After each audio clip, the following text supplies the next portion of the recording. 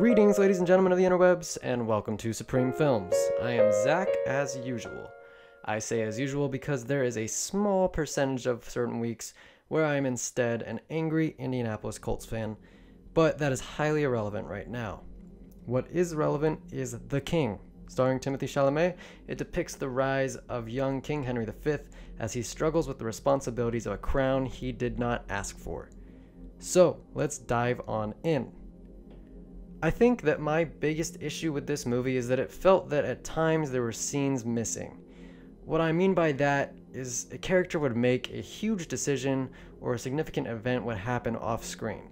Hal, as they call Henry V, makes a big decision, largely off screen in the first act of the film, and we don't get to see him really sit with it and struggle with the weight of the decision.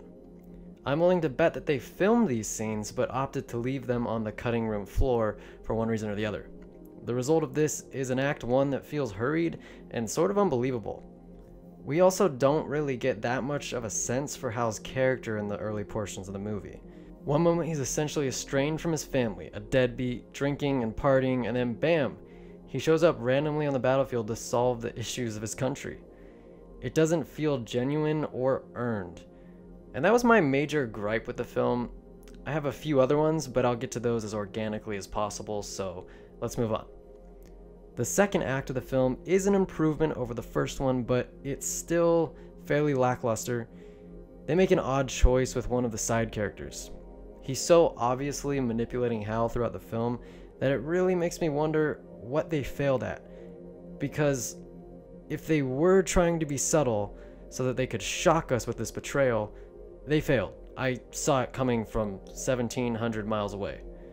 On the other hand, if they weren't trying to surprise us, then they just make Hal look extremely naive. This would be fine if there were precedent for this, but Hal is shown to be shrewd and competent throughout the film, and an excellent judge of character. So it's just inconsistency with the character at this point. Moving into the third act, we arrive at hands down the strongest portion of the film. Robert Pattinson shows up as a French prince and delivers an absolutely unsettling performance and also delivers a god awful French accent. French accents are tough though. The climax of the film is the Battle of Agincourt. There's a lot of good here and a little bad. First off, they totally rip off the Battle of the Bastards in the way that the battle is shot. It's not even subtle. Other than that, I quite enjoyed it. You get to witness the tactical brilliance the English displayed in the battle, as well as the heroics of Hal. This battle alone almost redeemed the film in my eyes. Almost. So, is The King a good movie? I feel like this film didn't tap its full potential. We don't get to know King Henry V as well as we should, and I think that's the film's biggest issue. I wanted more private moments with him in the film where we really get to understand his character and explore it. They didn't sell me on the protagonist of the film, and that's a big problem. That being said, the film is gorgeous to watch, and the score is awesome as well.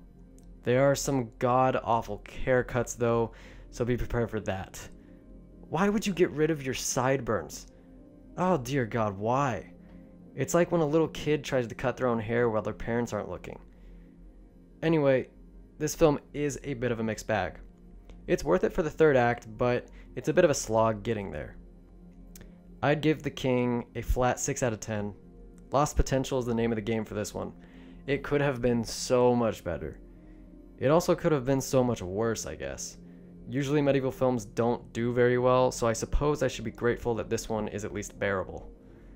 Anyway, that's all for me, folks. The King is available to watch on Netflix, so check it out and let me know what you think. Thank you so much for watching. Remember to like and subscribe if you'd like, it's totally up to you.